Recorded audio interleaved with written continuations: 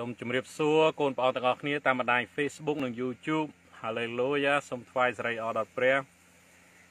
អរគុណព្រះអង្គណាឥឡូវនេះប៉ានឹងព្យាយាម live វីដេអូនៅទាន់នៅភ្លឺអាមែនហើយសូមអធិស្ឋានដល់ពេលវេលា ដែលកន្លងមក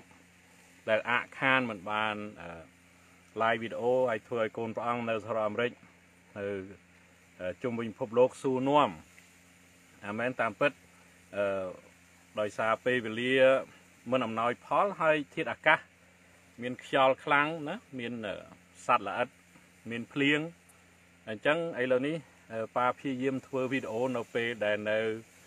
នៅភ្លឺឬក៏នៅថ្ងៃអាមែនហើយនៅក្នុងតង់ដើម្បីកាត់បន្ថយសំឡេងឬក៏ខ្យល់ឬក៏សត្វល្អិតអាមែនសូមប្រំទានពរ សូមប្រំទានពរបន្ថែមក្នុងព្រះនាមព្រះម្ចាស់ព្រះយេស៊ូវគ្រីស្ទហើយកូនព្រះអង្គដែលមើលបន្តបន្ទាប់អឺហ្នឹងហើយជួយប្រាប់គ្នាទៅណាថា live វីដេអូមិនទាន់នៅភ្លឺបើសិនជាភ្លៀងបើសិនជាព្យុះអីពិបាកនឹង live វីដេអូមែនទែនណាកូនព្រះអង្គណាអឺអញ្ចឹងប៉ាព្យាយាមធ្វើការងារនេះ ហើយនៅតែបន្តការងារព្រះអង្គរហូតអាមែនហើយកូនព្រះអង្គនៅពេលដែលប៉ាមិនបានផ្សាយអញ្ចឹង អរគុណព្រះអង្គដែលបានដាស់តឿនណាកូនព្រះអង្គនៅសហរដ្ឋអាមេរិកដែលគាត់រមែងតែតាមដានវីដេអូហើយគាត់ងឿឆ្ងល់អញ្ចឹងគាត់ស្រេកឃ្លានព្រះបន្ទូលមែនតើអាមែននេះជាដំណឹងល្អណានៅពេលណាយើងស្រេកឃ្លានព្រះបន្ទូលគឺមានន័យថាព្រះយើងមានព្រះវិញ្ញាណបរិសុទ្ធដាស់តឿនយើងហើយចង់ចេះចង់ដឹង ខាងឯព្រះបន្ទូលខាងឯដំណឹងល្អហ្នឹងគឺជារឿងដែលល្អបំផុតហើយអូខេ អរគុណព្រះអង្គអរគុណព្រះអង្គសូមសម្រុំចិត្តអធិដ្ឋាន ដើម្បីទទួលមេរៀនព្រះអង្គនៅថ្ងៃនេះហើយប៉ាជឿថានឹង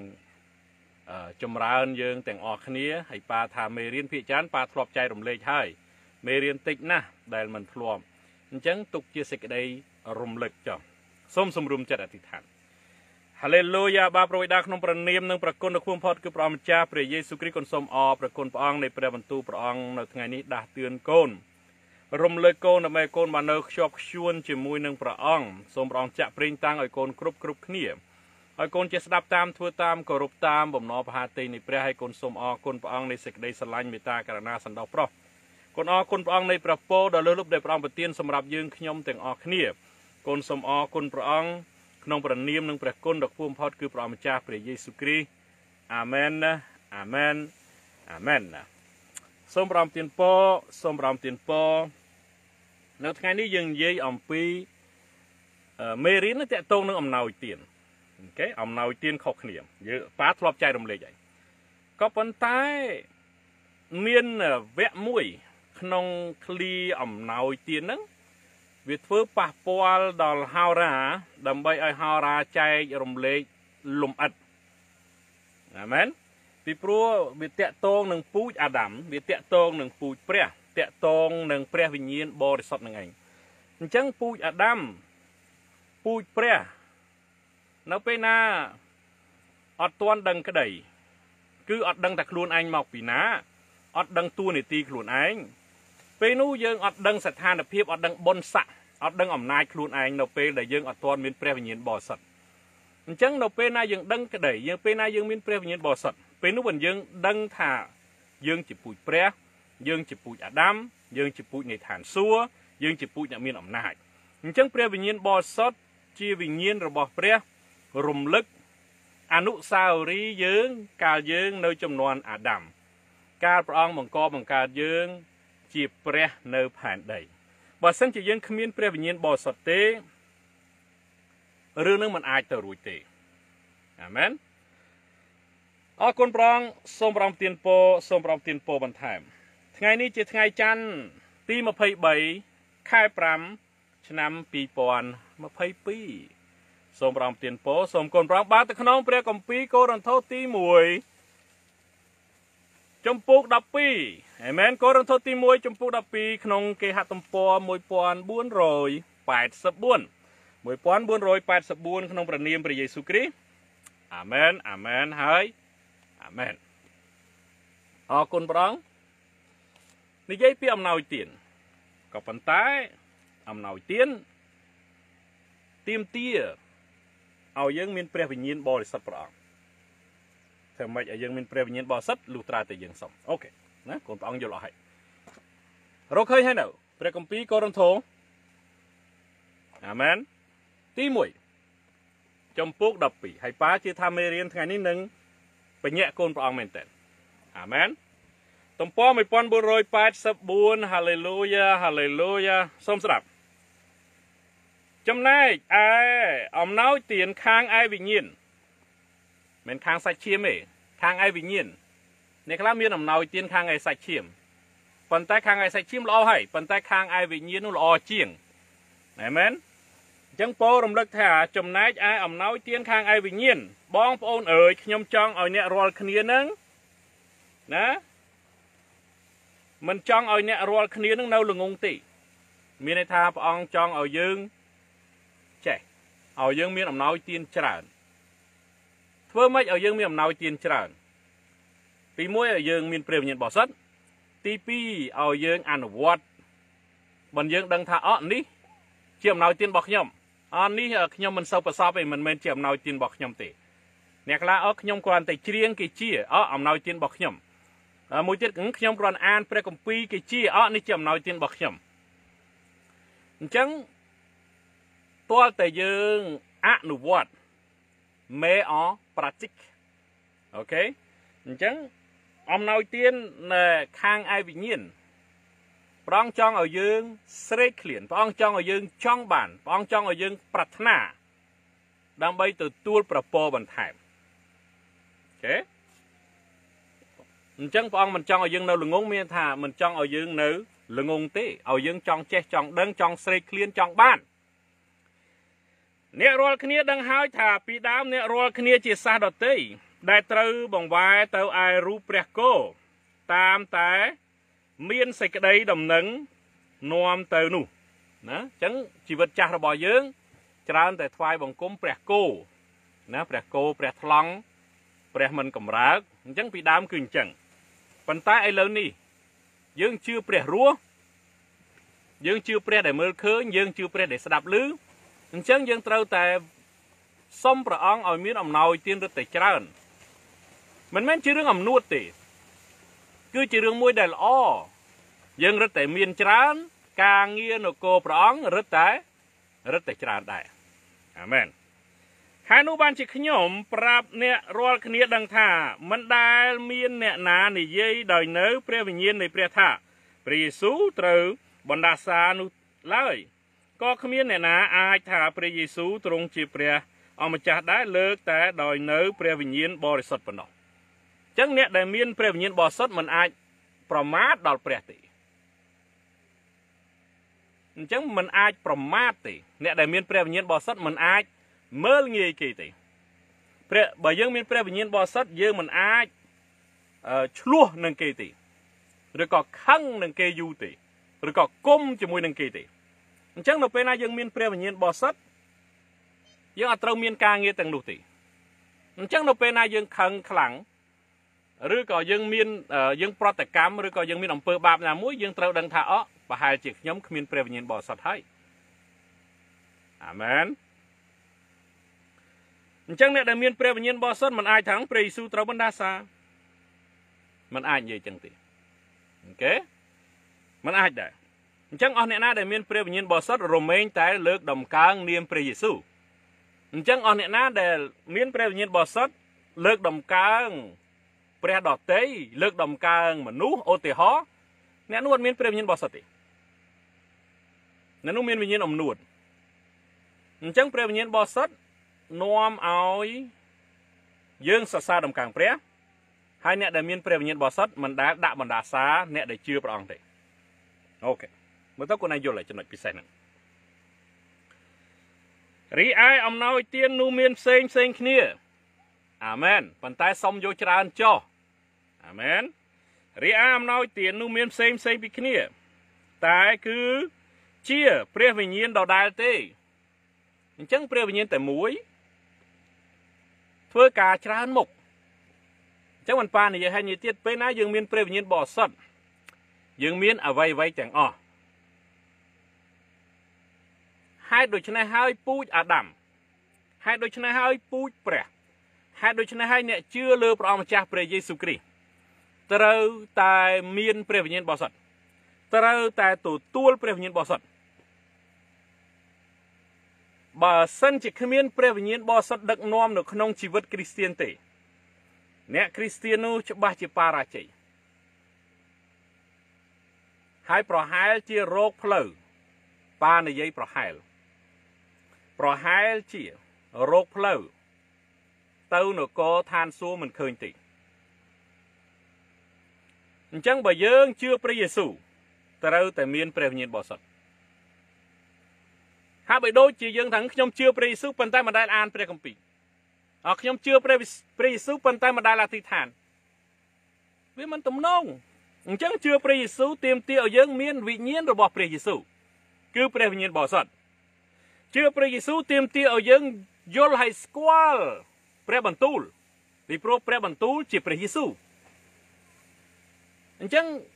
យើងមិនអាចអត់ព្រះវិញ្ញាណបរិសុទ្ធបានទេក៏យើងមិនអាចអត់ព្រះយេស៊ូវក៏យើងមិនអាចអត់ព្រះបន្ទូលដែរព្រះបន្ទូលត្រឡប់ជាសាច់ឈាមត្រឡប់ជាព្រះយេស៊ូវអញ្ចឹងយើងត្រូវតែស្គាល់ព្រះបន្ទូលយើងត្រូវតែមានព្រះវិញ្ញាណបរិសុទ្ធដឹកនាំយើងនៅក្នុងព្រះបន្ទូលព្រះបន្ទូលជាព្រះព្រះវិញ្ញាណបរិសុទ្ធជាព្រះអញ្ចឹងយើងមានព្រះបន្ទូលយើងមានព្រះវិញ្ញាណបរិសុទ្ធ ព្រះវិញ្ញាណបរិសុទ្ធតម្រង់យើងឲ្យយើងចូលទៅក្នុងសេចក្តីពិតឲ្យយើងយល់ព្រះបន្ទូលឲ្យយើងស្គាល់ព្រះយេស៊ូវឲ្យយើងដើរនៅក្នុងអំណាចអំណោយទានដែលព្រះវិញ្ញាណបរិសុទ្ធតម្រង់យើងគ្រប់គ្រប់គ្នា មានអំណោយទានច្រើន តាមរយៈព្រះវិញ្ញាណបរិសុទ្ធដដែល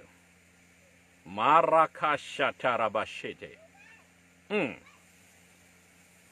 ខ4ម្ដងទៀតរីឯអំណោយទាននោះមានផ្សេងផ្សេងពីគ្នា តែគឺជាព្រះវិញ្ញាណដដែលទេអញ្ចឹងអស់អ្នកណាដែលគ្មានព្រះវិញ្ញាណគឺគ្មានព្រះយេស៊ូវគឺគ្មានអំណាច គឺគ្មានការដឹងគ្មានការទទួលស្គាល់គឺអត់យល់គ្រាន់តែទៅពហិអ៊ឺអើគ្រាន់តែហើយអើនឹងគេគ្រាន់តែប្រាប់គេថាខ្ញុំជឿព្រះយេស៊ូវ ប៉ុន្តែអត់បានស៊ីជម្រៅទេពីព្រោះអីអត់មានព្រះវិញ្ញាណអញ្ចឹងបើយើងអត់ព្រះវិញ្ញាណបរិសុទ្ធហើយយើងអត់មានព្រះបើយើងអត់មានព្រះវិញ្ញាណបរិសុទ្ធអត់មានអំណោយទានខាងឯវិញ្ញាណអើយើងអាចប្រកែខាងសាច់ឈាមប៉ុន្តែគ្មានអំណោយទានខាងឯវិញ្ញាណ ពីព្រោះបើយើងចង់បានអំណោយទានខាងឯវិញ្ញាណលុះត្រាតែយើងមានព្រះវិញ្ញាណបរិសុទ្ធនេះហើយចំណុចពិសេសដែលប៉ាចង់ពន្យល់សម្រាប់ពូជអាដាមសម្រាប់ពូជព្រះ សម្រាប់ពូជនៃឋានសួគ៌សម្រាប់អ្នកជឿព្រះយេស៊ូវសម្រាប់អ្នកអួតខ្លួនថាជាអ្នកគ្រីស្ទៀនយើងមិនអាចជាអ្នកជឿព្រះយេស៊ូវដែលគ្មានវិញ្ញាណព្រះយេស៊ូវទេ ក៏យើងមិនអាចជឿព្រះយេស៊ូវដែលយើងមិនស្គាល់ព្រះយេស៊ូវតាមរយៈព្រះបន្ទូលដែរអាមែនអញ្ចឹងគឺព្រះវិញ្ញាណបរិសុទ្ធត្រូវតែមាននៅក្នុងពូជអាដាមពូជព្រះយើងមិនអាចថាខ្ញុំជាពូជព្រះប៉ុន្តែយើងគ្មានវិញ្ញាណរបស់ព្រះផងអត់មានអត្តសញ្ញាណរបស់ព្រះផងហើយយើងថាខ្ញុំជឿព្រះយេស៊ូវអ្នកអាចអាចជឿតែមាត់ ប៉ុន្តែគ្មានព្រះនៅខាងក្នុងគ្មានប្រជាស្ដាគ្មានអធិពលគ្មានអំណាចគ្រាន់តែជឿដូចគេដូចឯងខ5ហើយក៏មានមុខងារផ្សេងផ្សេងពីគ្នា តែ គឺជាព្រះអម្ចាស់ដដែលដែរព្រះវិញ្ញាណដដែលព្រះអង្គម្ចាស់ដដែលមានន័យថាព្រះវិញ្ញាណបរិសុទ្ធជាព្រះអង្គម្ចាស់ព្រះអង្គម្ចាស់គឺជាព្រះយេស៊ូវ តែអង្គជាអង្គតែមួយទេព្រះវិញ្ញាណបរិសុទ្ធដដែលព្រះអង្គព្រះអង្គដដែលអញ្ចឹងតួនាទីព្រះវិញ្ញាណបរិសុទ្ធនឹងប្រើប្រាស់បុគ្គលម្នាក់ម្នាក់ផ្សេងផ្សេងពីគ្នាយោងទៅតាមអំណោយទានយោងទៅតាមការត្រាស់ហៅ យោងទៅតាមការដឹកនាំរបស់ព្រះវិញ្ញាណបរិសុទ្ធបើសិនជាយើងគ្មានព្រះវិញ្ញាណបរិសុទ្ធដឹកនាំយើងមិនដឹងតែធ្វើអីទេច្បាស់ជាទៅពហិមកវិញទុកពហិព្រះកំពីចោលហើយដើរទាត់បាល់ដើរស្ទូចត្រីបាត់ពីព្រោះអត់មានគោលដៅច្បាស់លាស់ជាមួយនឹងព្រះអង្គគិតតែខ្ញុំអ្នកគ្រីស្ទៀន2ម៉ោងទៅពហិហើយចប់ពីព្រោះអត់មានព្រះវិញ្ញាណរបស់ព្រះដឹកនាំ ហើយនៅពេលណាយើងគ្មានព្រះវិញ្ញាណបរិសុទ្ធដឹកនាំវាអត់គោលដៅវាអត់រសជាតិដូចសំឡសាភ្លេមវាអត់មានជាតិវាអត់មានជីវិតអត់មានអំណាចអត់មានអំណោយទានដោយអរ៉ាសុគិនពីដើមចាប់ពីព្រះវិហារប៉ុបទៅស្ទូចត្រីបាត់មិនស្រួលមកវិញឈឺក្បាលវិលមុខក្អួតកោខ្យល់មួយអាទិត្យពីរបីដង លេបថ្នាំអាស្ពីរីនយកតាមកប៉ៅទៀតជឿអត់ជឿស្រឡាញ់អត់ស្រឡាញ់ធ្វើបន់ជាមួយទឹកហើយនៅ ធ្វើហើយប៉ុន្តែគ្មានព្រះទេ លួចប្រព្រឹត្តធ្វើបាបទៀតលួចលាក់ទៀតនេះហើយដែលថានៅពេលណាយើងគ្មានព្រះវិញ្ញាណបរិសុទ្ធដឹកនាំយើងរមែងតែបញ្ឆោតអ្នកដទៃ ថាយើងត្រឹមត្រូវប៉ុន្តែពិតប្រកបខ្លួនឯងមិនត្រឹមត្រូវទេហើយយើងចិត្តតែបឆោតភ្នែកអ្នកដតីលក្ខណៈសាច់ឈាមថាត្រឹមត្រូវប៉ុន្តែខ្លួនឯងមិនត្រឹមត្រូវទេ ទៅព្រះវិហារតែ2ម៉ោងចេញពីហ្នឹងទៅស្ទូចត្រីបាត់ទៅទាត់បាល់បាត់ទៅដើរលេងបាត់គ្មានការអធិដ្ឋានគ្មានភាសាដតីគ្មានការប្រោះជំងឺមួយសប្តាហ៍កោខ្យល់2 3ដង ជិះឡានក្អួតវេវកជិះកប៉ាល់ហោះក៏ក្អួតគ្មានប្រជាស្ដាគ្មានព្រះវិញ្ញាណបរិសុទ្ធដឹកនាំ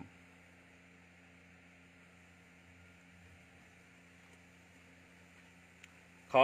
6កូរិនថូសទី1ចំពុះ12ខ6ព្រមទាំងមានរបៀបធ្វើផ្សេងផ្សេងពីគ្នាទៀតតែគឺជាព្រះ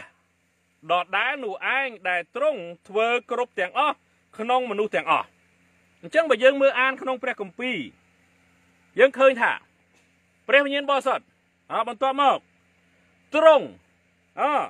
ខ7ខ6ព្រះអញ្ចឹងព្រះវិញ្ញាណបរិសុទ្ធព្រះអង្គម្ចាស់ហើយនឹងព្រះតែមួយទេអញ្ចឹងនៅពេលណាយើងជឿព្រះយេស៊ូវហើយចាំបាច់ណាស់ឲ្យយើងស្រេកឃ្លានអំណោយទានខាងឯវិញ្ញាណ អញ្ចឹងដោយកូនប៉ាពីរថ្ងៃនេះដែលដែលហៅរ៉ាគាត់ស្ងាត់គាត់ខលមកសួរហេតុអីស្ងាត់ពីព្រោះវិញ្ញាណរបស់គាត់ឃ្លានឃ្លានពីព្រោះវិញ្ញាណរបស់គាត់ស្រេកឃ្លានអាហារប្រលឹងវិញ្ញាណហើយសំណួរសួរថា អ្នកណាបណ្ដាលឲ្យគាត់ឃ្លានគឺព្រះនៅខាងក្នុង ព្រះវិញ្ញាណនៅខាងក្នុងវិញ្ញាណរបស់គាត់នៅខាងក្នុង សហការគ្នាថាខ្ញុំត្រូវតែទទួលទានអាហារប្រលឹងវិញ្ញាណដើម្បីឲ្យខ្ញុំមានកម្លាំងអញ្ចឹងគាត់ខលមកថាប៉ាហេតុអីក៏ស្ងាត់អត់មានព្រះបន្ទូលអញ្ចឹងវិញ្ញាណគាត់ជាមួយនឹងព្រះវិញ្ញាណបរិសុទ្ធបានស្រេកឃ្លាន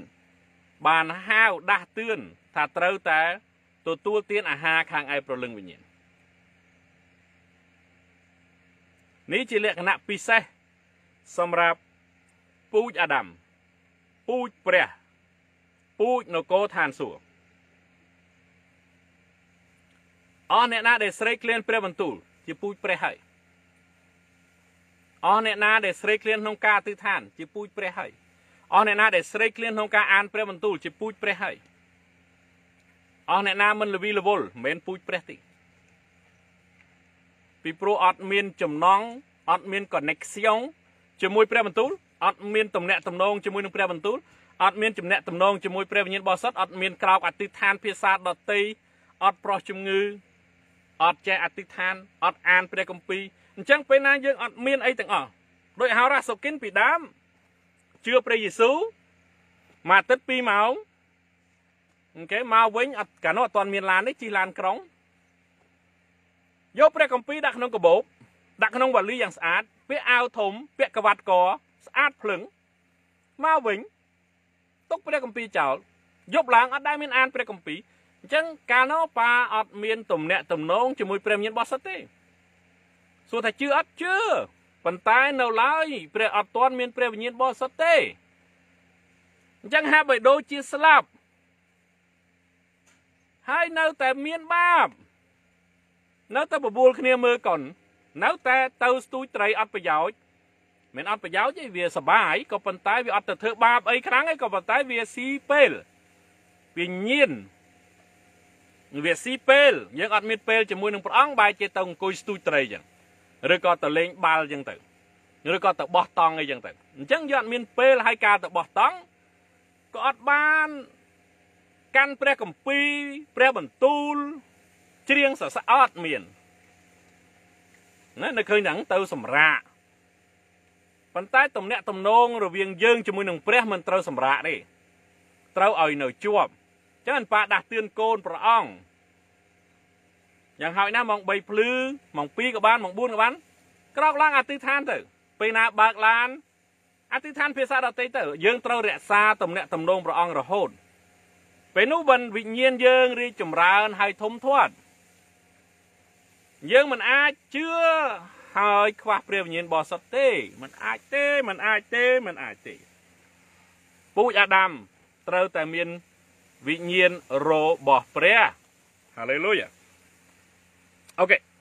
ខ7ហើយទ្រង់ប្រទានឲ្យព្រះវិញ្ញាណសម្ដែងមកក្នុងគ្រប់គ្នា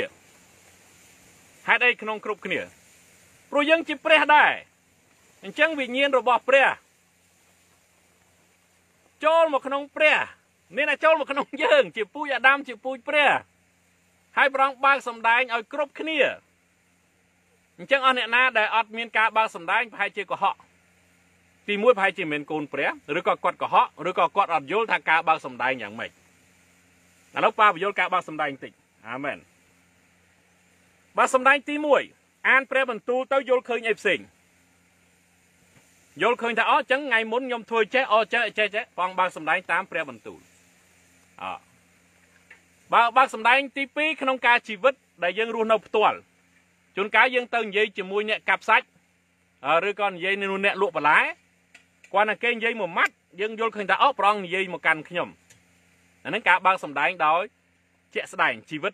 ជាក់ស្ដែងណាអញ្ចឹងការបើកសម្ដែងទី1តាមរយៈព្រះបន្ទូលការបើកសម្ដែងទី2 តាមរយៈជីវិតជាក់ស្ដែងអដោយព្រះអង្គប្រើប្រាស់មនុស្សផ្សេងមួយទៀតមកនិយាយជាមួយយើងហេដោយព្រះអង្គមានព្រះបន្ទូលមកកាន់ខ្ញុំអការបើកសម្ដែងមួយទៀតគឺតាមរយៈនិមិត្តណាពេលយើងដេកទៅឬក៏យើងពេលថ្ងៃប្រងឲ្យយើងមើលឃើញមើលឃើញស្រស់ស្រស់ក្នុងការដែលយើងដេកឬក៏មិនទាន់ដេកឬក៏ពេលថ្ងៃឬក៏ពេលបើកឡានដូចផ្ទៃមេឃបើកចំហអានឹងគេហៅថា ការបើកសម្ដែងដែរ អញ្ចឹងការបើកសម្ដែងមានគ្រប់សន្តានមានច្រើនណាស់អញ្ចឹងប្រងដែលជាព្រះវិញ្ញាណបរិសុទ្ធទ្រង់បើកសម្ដែងឲ្យយើងគ្រប់គ្រប់គ្នា ហើយព្រះអង្គប្រើប្រាស់យើង គ្រប់គ្រប់គ្នាយោងទៅតាមអំណោយទានដែលយើងមានជាមួយនឹងព្រះអង្គហើយព្រះអង្គច្បាស់ព្រះអង្គស្គាល់យើងណាស់អញ្ចឹងព្រះអង្គទ្រង់ដឹងថាអំណោយទានអីដែលត្រូវជាមួយនឹងយើងអំណោយទានអីដែលមិនត្រូវជាមួយនឹងយើងហើយព្រះអង្គត្រូវប្រើប្រាស់យើងដោយកលក្ខណៈណាអាមែន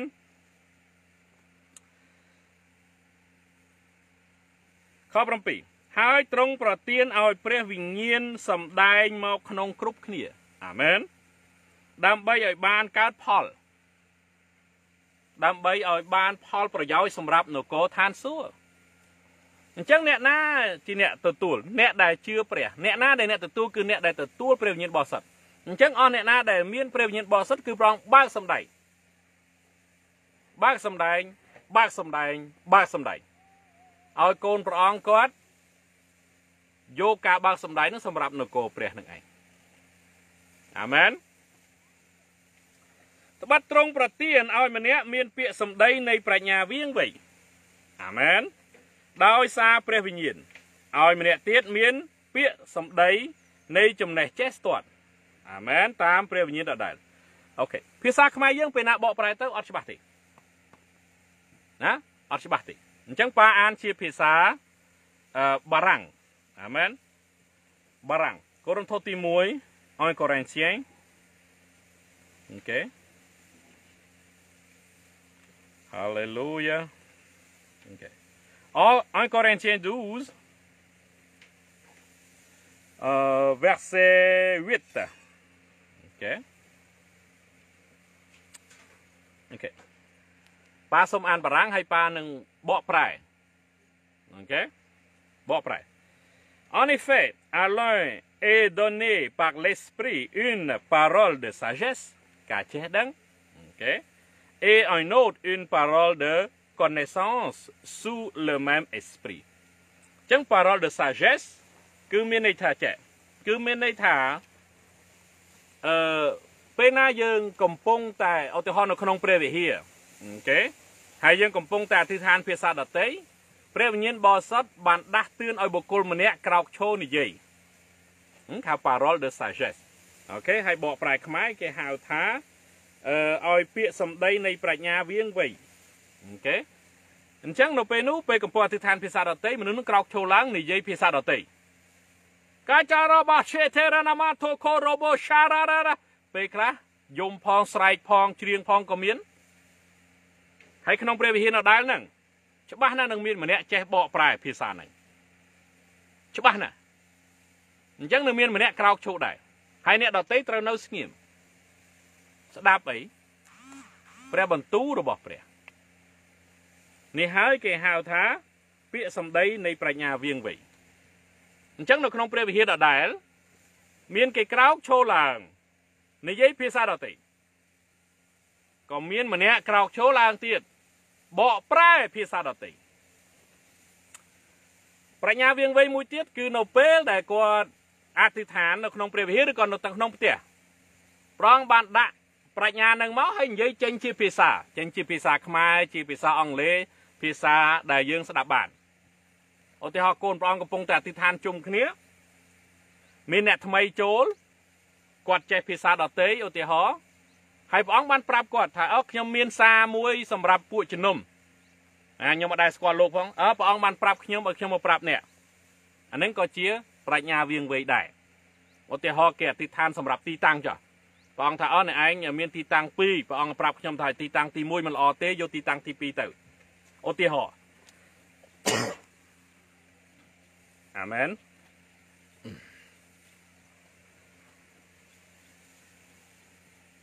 Amen. OK? Euh, une parole de connaissance. OK? ចំណេះចេះស្ទាត់អឺឧទាហរណ៍ថាយើងកំពុងតែគេចាប់ឧទាហរណ៍ប៉ូលីសគេចាប់ដោយប្រការណាមួយបងថាកុំខ្លាចអញនឹងដាក់ពីអញនៅក្នុងមាត់ឯងអូខេអញ្ចឹងទៅសិនទៅ ទៅដល់នោះព្រះអង្គដាក់ប្រាជ្ញាមកឲ្យយើងយើងគ្រាន់តែហើបមាត់និយាយទៅហើយព្រះអង្គរំដោះយើងចេញពីឧបសគ្គហ្នឹងគេហៅ parole de connaissance ណាប្រាជ្ញាឬក៏ចំណេះចេះស្ទាត់ហ្នឹងវាប្រហាក់ប្រហែលដែលយើងអាចយល់បានអូខេអាមែនអូខេតទៅទៀតខ9ព្រះគម្ពីរកូរិនថូសទី1ចំពុក12ខ9អូខេ ហើយឲ្យម្នាក់ផ្សេងទៀតមានសេចក្តីជំនឿអញ្ចឹងសេចក្តីជំនឿជាអំណោយទៀតជឿតិចជឿខ្លាំងជាអំណោយទៀតមកពីព្រះអូខេដោយនៅព្រះវិញ្ញាណដដែលអញ្ចឹងព្រះវិញ្ញាណព្រះអង្គក៏អាចអ្នកខ្លះមានសេចក្តីជំនឿខ្លាំងដោយអាប់រ៉ាហាំអញ្ចឹងអូខេគឺជាអំណោយទានមកពីព្រះដែរគឺថាគាត់អត់ គាត់អត់ចេះទេប៉ុន្តែគាត់ជឿព្រះអង្គខ្លាំងឧទាហរណ៍ក៏ជាអំណោយទៀតដែរអូខេខ9ដដែលហើយឲ្យម្នាក់ផ្សេងទៀតមានសេចក្តីជំនឿដោយនៅ ព្រះវិញ្ញាណដដែលឲ្យមួយទៀតបានអស់ទាំងអំណោយទាននឹងអាចប្រោះឲ្យជាអញ្ចឹងការប្រោះឲ្យជាក៏ជាអំណោយទាន ណាបានអស់ទាំងអំណោយទានហ្នឹងគឺមានន័យថារបៀបដែលគាត់អធិដ្ឋានប្រោះជំងឺវាច្រើនឧទាហរណ៍អធិដ្ឋានក្នុងទឹក គេយកទឹកទៅហូបគេជាអធិដ្ឋានក្នុងប្រេង គេយកប្រេងទៅលាបគេជាអធិដ្ឋានតាមរូបថតបុគ្គលអត់ដឹងខ្លួនព្រះចេស្តាព្រះអង្គរត់តាមរូបភាពរត់តាមឈ្មោះរត់តាមឈាមបុគ្គលនឹងអត់ដែលស្គាល់គ្នាសោះគេជាអនេះហៅគេហៅថាអំណោយទានគ្រប់សព អំណោយទានបានអស់ទាំងអំណោយទាននឹងអាចប្រោះឲ្យជា អ្នកខ្លះប៉ះជា អ្នកខ្លះអធិដ្ឋានជា អ្នកខ្លះច្រៀងជា អ្នកខ្លះអានព្រះបន្ទូលជាអញ្ចឹងមានអំណោយទានច្រើនអូខេខ10ឲ្យមួយទៀតបានសម្ដែងការរឹតបារមី និងឲ្យមួយទៀតចេះអធិប្បាយចេះថ្លែងទំនាយអញ្ចឹងបើកូនព្រះអង្គចង់ថ្លែងទំនាយមានព្រះវិញ្ញាណបរិសុទ្ធសិនទៅដោយកាលប៉ាពីដើមប៉ារត់តាមហោរាហើយព្រះអង្គមានព្រះបន្ទូលហើយប៉ារំលឹករំលឹកហើយរំលឹកទៀតកុំឲ្យកូនឯងរត់តាមហោរាតែកូនឯងរត់តាមហោរាកូនឯងខុសហើយប៉ានិយាយម្ដងទៀតបើកូនឯងរត់តាមហោរាហោរានឹងត្រូវតែប្រាប់ថាកុំរត់តាមហោរារត់តាមព្រះវិញ្ញាណបរិសុទ្ធ បើសិនជាកូនព្រះអង្គរត់តាមហោរាខុសហើយបើរត់តាមព្រះវិញ្ញាណបរិសុទ្ធហើយឲ្យហោរាតម្រង់អាហ្នឹងត្រូវប៉ុន្តែបើរត់រោហោរាហើយសង្ឃឹមអីបានអីពីហោរា0ពីព្រោះហោរាគាត់រងចាំសារពីព្រះអង្គណាឧទាហរណ៍ថាកូនឯងស្គាល់ Uber Angel ណាគាត់នៅស្រុកអង់គ្លេសរាល់ថ្ងៃនេះមិននៅ Zimbabwe ទេអញ្ចឹងកូនឯងជិះទិញសមុទ្រកប៉ាល់ហោះទៅ អូខេទៅដល់នោះបើសិនជាព្រះអង្គមិនប្រាប់គាត់ឲ្យនិយាយជាមួយយើងទេយើងទៅខាតពេលទៅដល់អង្គុយមើលគាត់ហ្នឹងឯងអញ្ចឹងដែលព្រះអង្គដែលហៅរាថ្លែងទំនាយដោយសារព្រះវិញ្ញាណបរិសុទ្ធហើយបើសិនជាព្រះវិញ្ញាណបរិសុទ្ធមិនដាស់តឿនឲ្យគាត់ប៉ះពាល់យើងនិយាយជាមួយយើងចាក់ប្រេងតាំងឲ្យយើងទៅអត់ទេ ប៉ុន្តែបើសិនជាយើងមានតំណែងតំណងជាមួយព្រះវិញ្ញាណបរិសុទ្ធវិញទោះបីជាហោរានៅទីណាក៏ហោរានឹងព្យាយាមតាក់ទងយើងដែរណាដោយហោរាសុគិនអញ្ចឹងមានហោរាច្រើនព្យាយាមតាក់ទងដោយសារអីព្រះអង្គបានប្រាប់គាត់ឲ្យចាក់ប្រេងតាំង